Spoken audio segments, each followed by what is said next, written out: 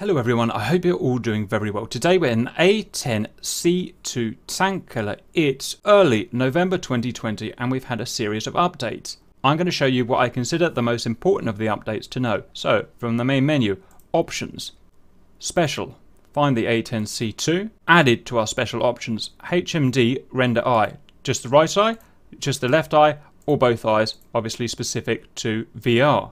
And we can also choose our default gun mode for when we select the gun. It can either be the reticle or the cross.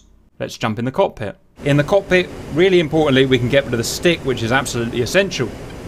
Next, we look at the CMDS panel, we can see that we can have up to 480 chaff with no flares or 480 flares with no chaff. Next, with the help of RC, I would like to show changes to the HOTAS coolie hat function, as well as the HOTAS China hat function, as well as the helmet mounted cueing system in how we display offboard broadcast SPIs and offboard targets. So, RC, first of all, you're going to be in a separate group. Would you please broadcast a SPI on a target on that island? And broadcast. Right, there will be a few seconds in lag while it detects it. And there we can see a mini SPI or an off-board broadcast SPI from RC and a dotted line to his aircraft. The dotted line means that he is not in my group and there he is nine miles away. Okay, RC, I would like you to cancel that now. Join my data link group, my SADL group, and I can tell you my ID is uh, 1 and my group ID is 1. And broadcast. Again, a few seconds in lag for the data link to pick it up. And we can see this time we've got the solid line showing that he's in our group and some extra information. Okay, next RC, can you please broadcast a target for me? Sent. You can see a new task there. We've got the flashing red triangle. And here, I know it's hard to see against the sand, but that is a solid red triangle, which is the new symbology for the broadcast target. Now I'm going to pick that up and use that.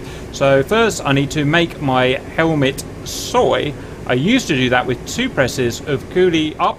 It's now done with one press of coolie down. And you can see that I'm now SOI with the asterisk. Now move my cursor over to it. I'm going to hook it with a TMS forward. And I'm going to create my own SPI with TMS forward long. I now have my own SPI set there. And finally, I would like to show the difference in China hat operations. So, if I wanted to slew, for instance, my T-pod to my, and let's get my T-pod out would help. So, if I wanted to slew my sensors to the SPI there, then China hat forward long.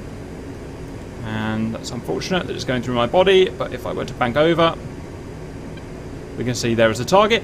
And if I wanted to now slew the T-pod to my steer point, I would now do China hat aft long.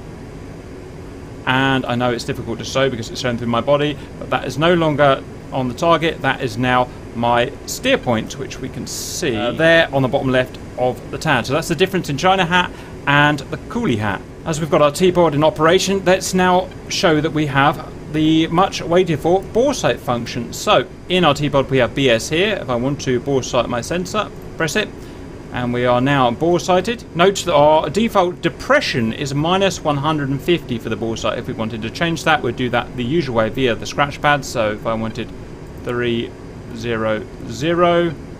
it's in there, press again. We now bore sight with a depression of minus 300. And finally, let's have a look at the new gun sounds. So, master mode, we go. Ho, ho, ho. That's actually the first time I've heard that, because I needed a genuine reaction. That's pretty mad, right? Have you heard it, RC?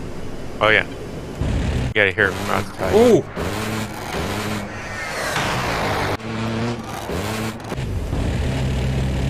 Ha ha ha! Do a flyby. Yeah, that's amazing. Lovely. Right, I'm going to enjoy that. Okay, uh, valid viewers, that's the main updates I'd like to point out. Um, I'll see you later.